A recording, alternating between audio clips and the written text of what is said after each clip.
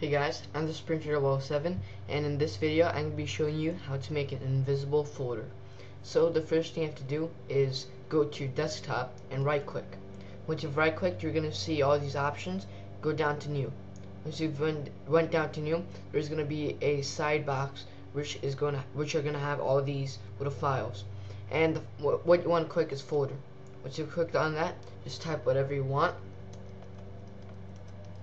So I'm to type subscribe. So once you have typed your name, just click somewhere um, besides the folder. So I can click out here.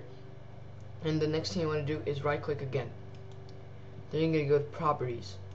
Once you go to properties, you're going to get all these um, options. You're to get four tabs. General, sharing, security, and customize. You're to go to security. I'm, uh, and just look at all, everything you got there. You're to go to customize. And once you go to customize, you're going to go change icon.